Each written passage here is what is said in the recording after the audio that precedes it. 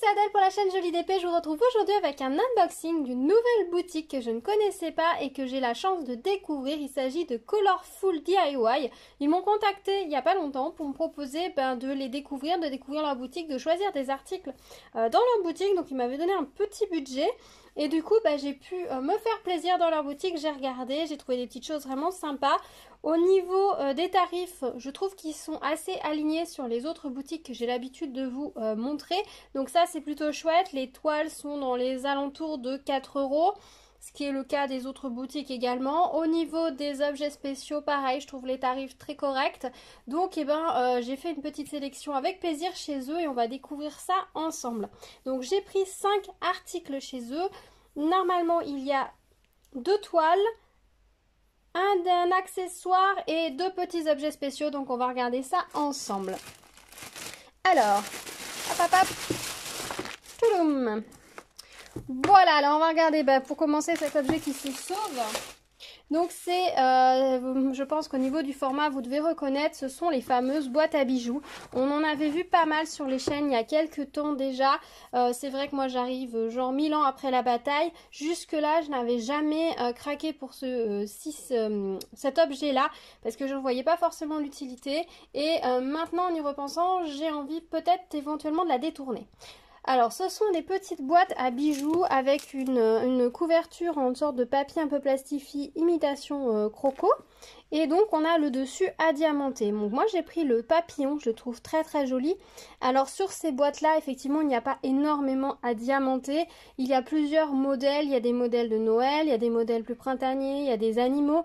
Euh, Kitty de la chaîne Kitty Créatine, elle avait fait euh, une, la boîte éléphant qui est vraiment très jolie. Euh, voilà, donc il y a quand même pas mal de modèles. Et donc moi j'ai pris ce joli papillon chez eux, je la trouve vraiment très très jolie. Donc on n'a que le papillon à faire. Et euh, à l'intérieur ça se présente comme ceci. Donc on a tout le petit matériel. Et sinon c'est comme ceci, je vais essayer de vous mettre de la luminosité. Voilà, c'est une petite mousse avec un cube ici qui est euh, découpé. Et là on a des petites rainures dans lesquelles on peut coincer des bagues, des boucles d'oreilles, etc. Alors, et là c'est recouvert. Ah, j'ai une petite trace. Ça c'est un petit peu abîmé mais c'est pas très grave. Ça fait vraiment une grosse trace blanche mais c'est le... C'est le velours qui s'est endommagé. Je sais pas, c'est pendant le transport ou lors de la fabrication. Bon, c'est pas très grave. Euh, et donc, moi, je voulais voir la détourner peut-être en essayant d'enlever cette partie-là, en fait, tout simplement à l'intérieur parce que je n'ai pas besoin de cette partie là j'ai pas de bijoux au final qui peuvent se coincer. Et donc je me suis dit que peut-être en retirant cette partie là elle est collée. Elle est collée. Donc il faut que je vois comment je peux l'enlever sans tout abîmer. Ah oui elle est collée parce que en fait au fond je sais pas si vous allez voir. Ah non vous voyez pas très bien.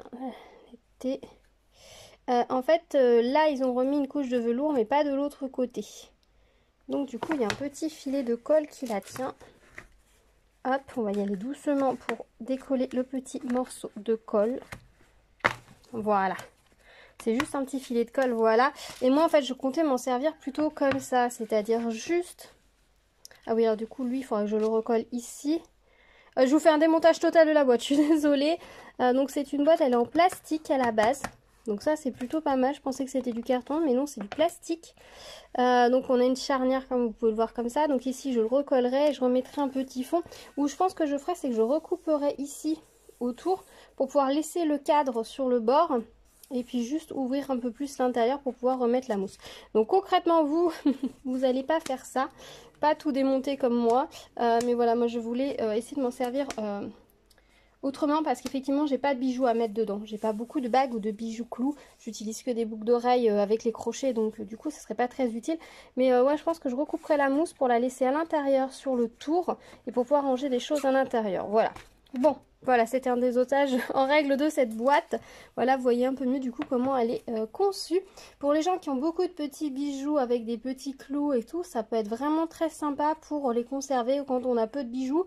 Ou pour emmener quelques bijoux en vacances. Effectivement, vous mettez vos petites bagues, les quelques bijoux que vous voulez emmener. Et puis ici, vous euh, mettez les petites chaînes ou petits colliers que vous pouvez emmener ou bracelets. Vous pouvez également, euh, bah, comme moi, si vous voulez un peu plus de choses, vous pouvez redécouper la mousse si vous êtes... Euh, je pense que moi je ferai ça. On verra ça dans la vidéo avis et réalisation, ok? Donc ici nous avons les diamants, donc on est sur des diamants euh, bah, spéciaux. Euh, on a des jaunes AB, je vous ouvre pas. On a des petites, plein de micro-gouttes bleues. On a des ronds pastés. Voilà au niveau des couleurs. Donc ça fait pas un gros sachet de diamants, hein, mais il n'y a que le papillon à faire. Et on a un toolkit style école barquette et petit sachet zip.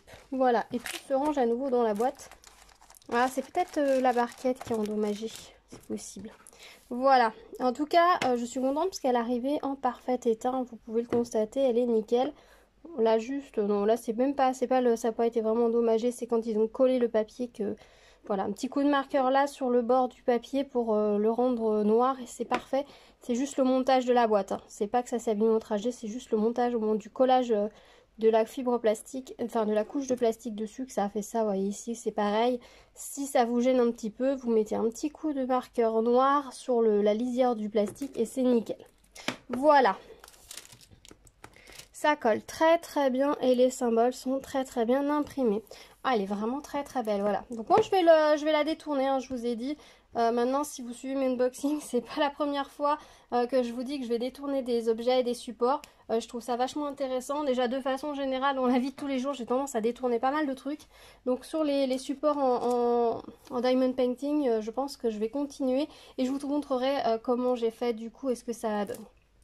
Voilà pour cette petite boîte, je la trouve vraiment très très jolie. Ensuite, j'ai pris un petit pilulier comme ceci. C'est un pilulier de 14 cases. Alors, l'avantage de ces piluliers, c'est que les cases sont vraiment très très grosses ça s'ouvre comme ça. Vous pouvez même enlever toute la barquette, ouais, c'est moins intéressant. Ça se démonte, faire attention, mais les cases sont très très grandes, donc c'est vrai que pour les diamants spéciaux, si vous avez beaucoup d'une sorte de diamant un peu volumineux, ça peut être pas mal. Je pense notamment aux boîtes à mouchoirs, choses comme ça, tous ces, supports où on a plusieurs, on a des fonds avec deux ou trois tailles d'un diamant d'une même couleur, ça peut être pas mal ce genre de boîte parce que c'est assez volumineux. Euh, voilà, euh, je serré en diamond painting et euh, je vous avoue que je m'en servirai peut-être pour pilulier tout simplement pour mon chien par la suite. voilà, je trouvais vraiment le concept sympa. On a une, 2, 3, 4, 5, 6, 7, 7 cases x 2, donc 14. Voilà, et c'est écrit en braille. Je pense que c'est les jours qui sont écrits en braille sur les côtés ici. Vous voyez, il y a du braille. Donc ça doit être les, les jours qui, matin et soir, qui doivent être écrits sur les côtés, j'imagine. Euh, en tout cas, voilà, petite boîte bien sympa. Euh, je vais voir ce que ça donne en Diamond Painting. Bon, l'avantage, c'est que bon, là, c'est toute la barre. Si vous voulez nettoyer votre, votre, pilulier, ça ferme bien, n'y a pas de souci. Si vous voulez nettoyer le pilulier, vous pouvez enlever toute la barre, voilà, de, avec le motif. Vous pouvez bien nettoyer et puis vous pouvez remettre. Bon, après, plus vous démontez, moins ça va être facile à remonter, plus il y aura du jeu. Mais voilà, ce il est assez grand, vous voyez, par rapport à ma main. Euh, les cases sont vraiment très très grandes. Elles font au moins deux euh, cases des petits piluliers euh, classiques comme ça. Hein. Clairement, vous voyez, la, la case fait bien le double de... de de, des autres cases du pilulier. Si vous avez voilà une toile avec pas beaucoup de couleurs ou des grosses quantités de diamants ou des gros diamants, ça va être nickel ce genre de petit pilulier. Si vous faites des petits objets qui n'ont pas trop de couleurs, vous pouvez même en mettre deux, mais bon, des objets avec sept couleurs, il n'y en a pas tant que ça au final, parce que même dans les objets spéciaux, maintenant, ils nous mettent beaucoup de couleurs. Et ça, c'est plutôt chouette. Beaucoup de couleurs haute forme de diamants spéciaux. Voilà pour ce petit pilulier, il me faisait euh, de l'œil depuis un moment, donc je suis contente de l'avoir pu prendre chez eux. Et franchement, il est vraiment pas cher chez eux. Euh, c'est euh, moins de 3 euros. Donc c'est plutôt intéressant. Ensuite, on va regarder une toile. On va regarder cette toile-ci. Alors, je pense que c'est la toile, ouais, c'est la toile en diamant rond. Alors, c'est un modèle que, de, qui était dans leur nouveauté. Euh, c'est un très joli perroquet, comme vous pouvez le voir. J'ai trouvé cette toile très sympa. Il y a plusieurs toiles de, de ce style-là, avec des couleurs très vives, très estivales, je trouve. Euh, il y a un toucan, il y a une fleur, euh, je sais plus si c'est chez eux que j'ai vu les autres ou si c'est chez un autre, euh, autre vendeur. Mais il y a toute une série de toiles comme ça qui sont vraiment très très jolies, très sympas. J'aime beaucoup. Très très jolies. On a une gamme de couleurs, vous voyez la, la légende là. vraiment très très variée. Ça va vraiment être plaisant à faire. On a 21 couleurs sur cette toile. Comme vous pouvez le constater, les symboles sont très bien imprimés. Ils sont imprimés en rond, donc facile à poser. On a pas mal de confettis comme sur le, sur le perroquet, mais euh, je pense que ça devrait être très plaisant à faire. La feuille, les couleurs sont magnifiques dans la feuille. J'espère que les couleurs imprimées sur la toile sont fidèles à celles des diamants. En tout cas, c'est vraiment très très joli, j'aime beaucoup. Elle colle très très bien. La toile est de très belle qualité, bien épaisse.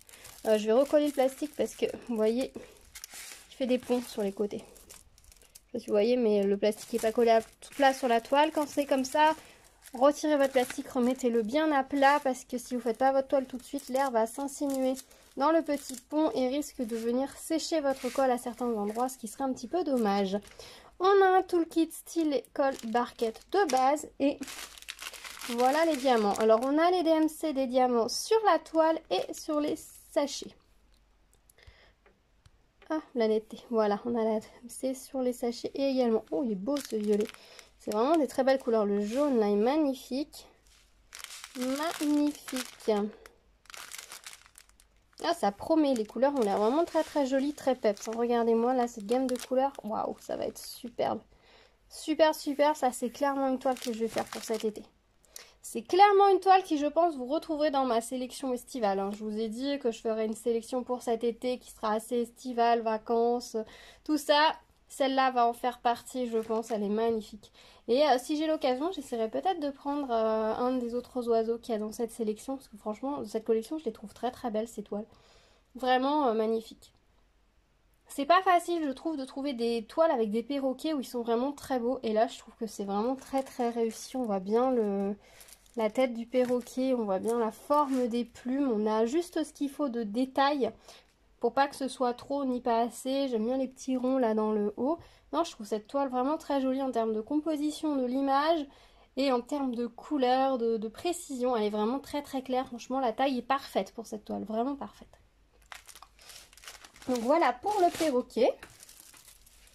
Ensuite, j'ai pris un petit accessoire. J'ai pris ceci, donc vous devez reconnaître. C'est une petite boîte à masque.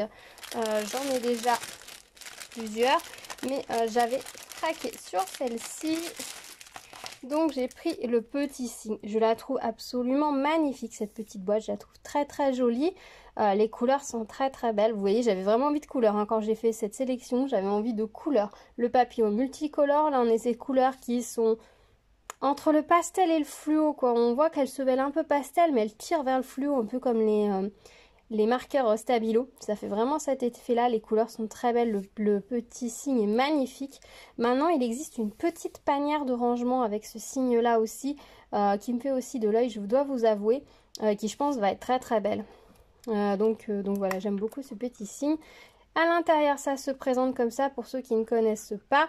Donc là, vous pouvez mettre des masques pliés en deux. Vous les coincez par ici. Si vous mettez vos masques, je vous conseille de mettre le côté avec les élastiques ici, non pas au milieu. Euh, mettre le pli du masque plié en deux ici et là, le, bord avec les masques. C'est plus facile pour les coincer et ça abîme moins le masque. Voilà, euh, deux masques tiennent sans souci là-dedans. J'avoue que moi, du coup, la mienne, je la mets euh, toujours, je la remplis, je la mets dans mon étagère. Et par exemple, quand je fais un trajet en voiture, ben, je prends la, boîte et je la mets dans mon panier.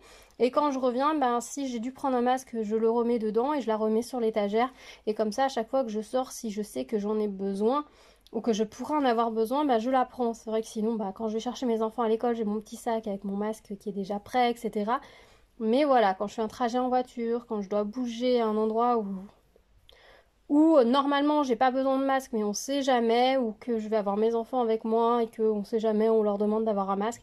Je prends ces petites boîtes au passage dans mon sac et voilà elles sont prêtes sur l'étagère je trouve ça nickel. Voilà pour cette petite boîte super mignonne. On a un toolkit style école barquette et ici les diamants. On va regarder rapidement. Il n'y a pas beaucoup de diamants du coup. Enfin les sachets sont tout petits Je dois vous avouer que j'aimerais tellement qu'ils nous mettent sur des sujets comme ça, vu qu'il y a tellement peu de diamants, des sachets zip. Ça éviterait le gaspillage de plastique.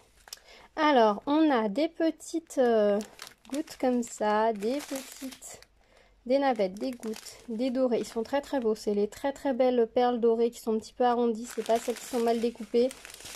Du jaune, du rose, deux sortes de violets et ça c'est le petit, les demi-perles bleu AB magnifique. Voilà, les couleurs sont très très jolies, je pense que ça va faire un très joli euh, mélange, à la fois un petit peu peps et en même temps un peu pastel, donc euh, je pense que ça va être vraiment très très chouette. J'ai hâte de les faire et puis de voir le résultat final, voilà. Et puis le jour où on n'aura plus besoin de masque, eh ben je m'en servirai pour autre chose, mettre un mouchoir, mettre autre chose, il n'y a pas de souci. Ce sont des petites boîtes qui peuvent servir pour d'autres choses que nous pouvons avoir à transporter.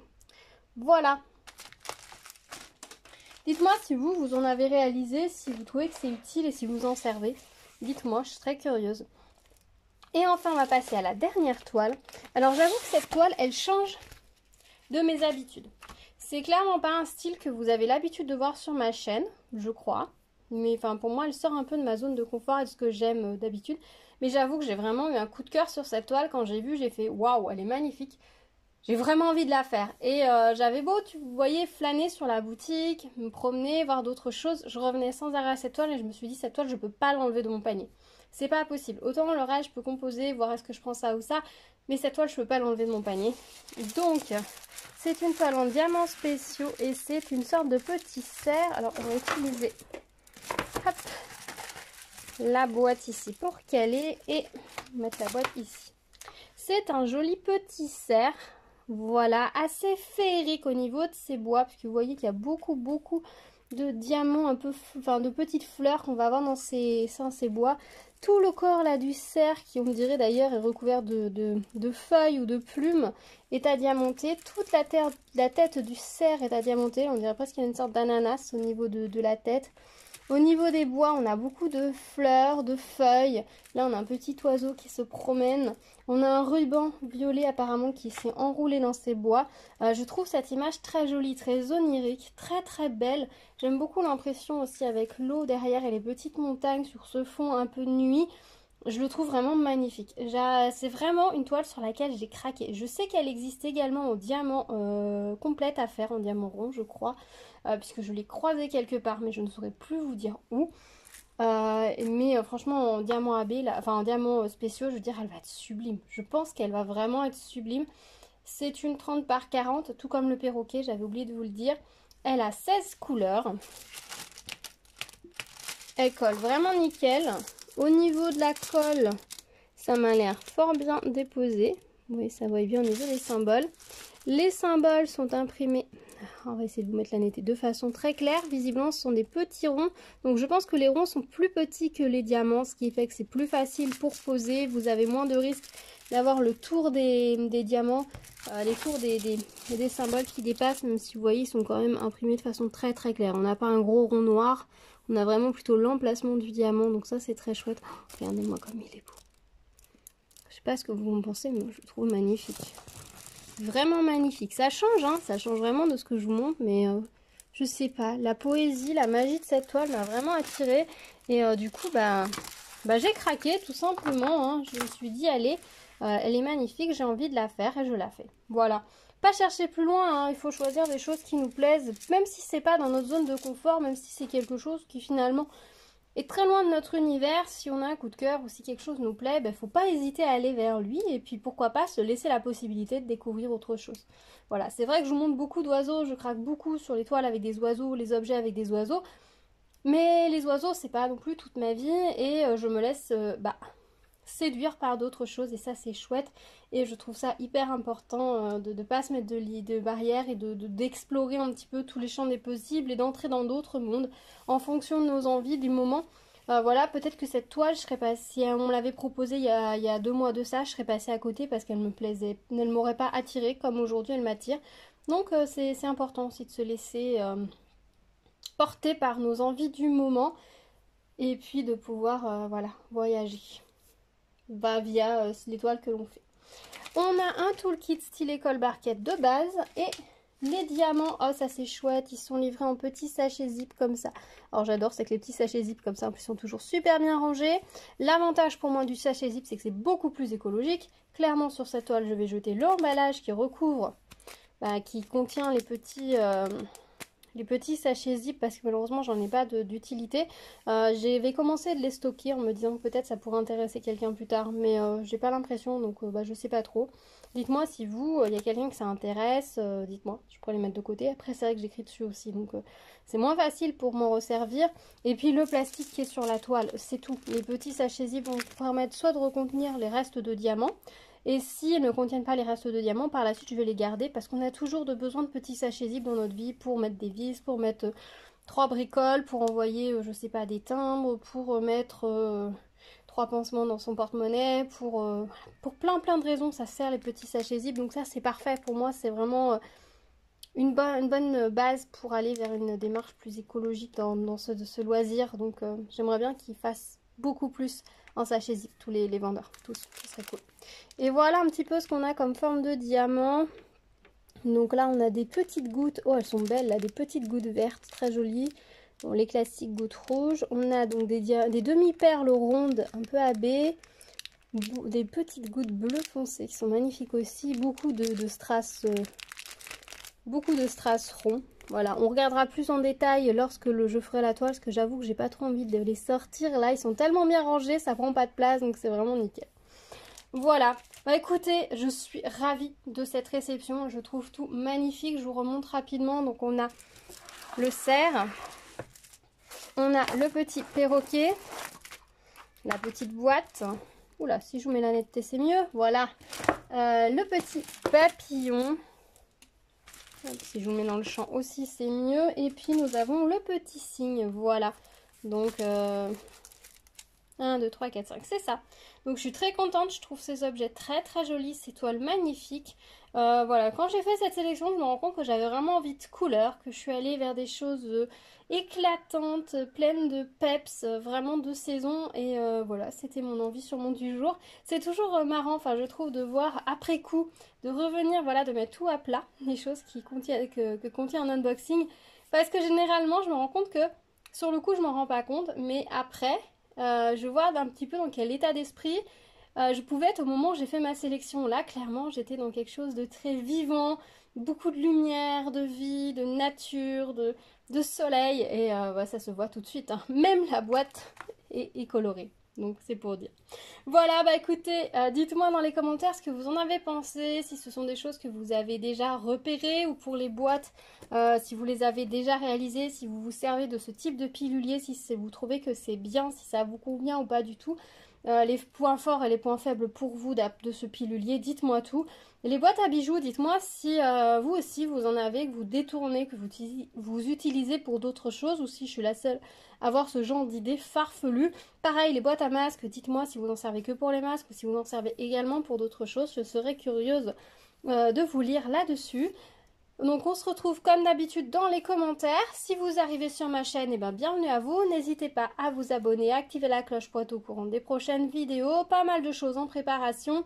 Je vous retrouverai bien évidemment avec des vidéos à vie et réalisation de ces différents articles dès que je les aurai réalisés. Donc restez à l'écoute.